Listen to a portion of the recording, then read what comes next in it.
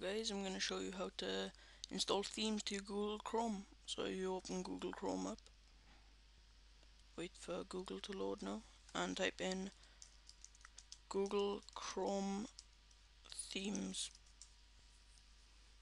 And then you click on Google Chrome Themes Gallery.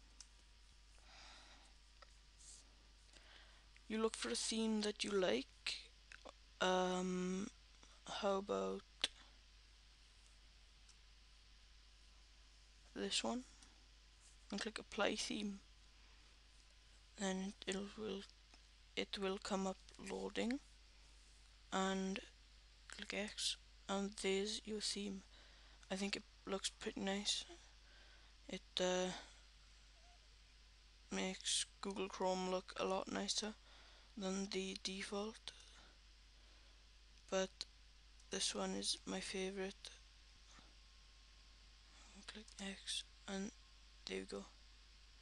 Thanks for watching. Um see you guys next time